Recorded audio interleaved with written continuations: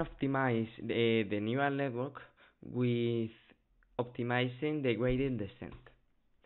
Here we have firstly the stochastic gradient descent that this is the descent that we have been using in the practice and as you see here this is the the formula and it do one update each training set then we have the batch gradient descent that uh, this uh, descent will have uh, better results because it will only update the weight when the entire dataset has been iterated. So here we have the formula. We need to do the sum of all the variations of all the de uh, partial derivatives and uh, update each weight. And finally we'll have the mini batch gradient descent. This uh, descent is a middle term between the stochastic and the batch.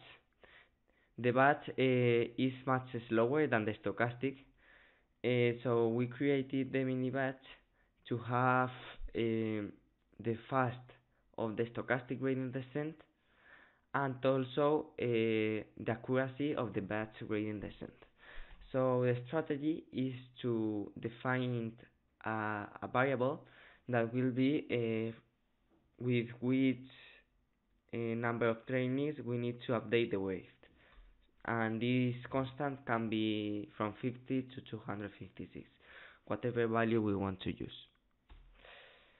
We can see here uh, an image where we, can analyze the the gradient descents we can see the batch gradient descent is very uh, accurate.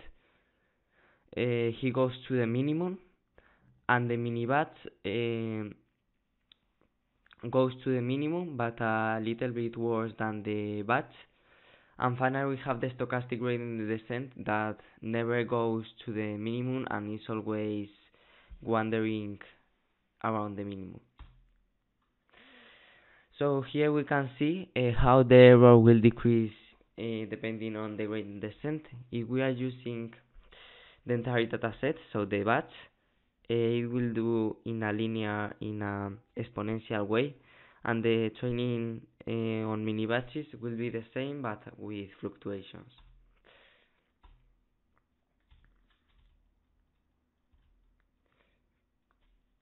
So what uses has the neural networks? Uh, neural networks has been are being used in a lot of companies for example, the famous Google is making a lot and researching in artificial intelligence. He's making the speech recognition, for example, with the the traductor, the language processing, the translation. Uh, all of these recognitions uh, mostly use nowadays recurrent neural networks. Then the image recognition, that is the computer vision and they use convolutional neural networks. Uh, it's also used for self-driving cars. Uh, for example, Google and Nvidia are trying to to use this technology uh, and apply them to driving cars. And they are complex neural networks.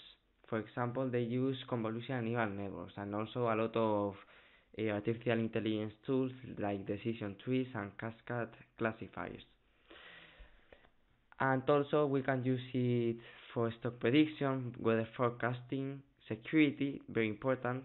Nowadays, security uh, has been an important sector, and we uh, a lot of companies are investing in security, and also for marketing and advertising.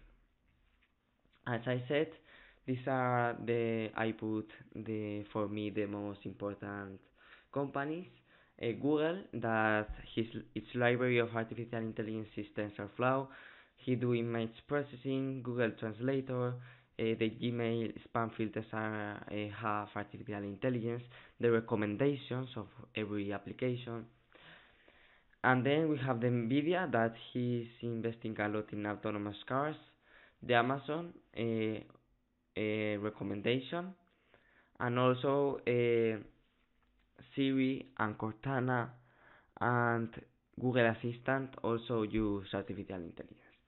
And also the the image processing, for example, the facial recognition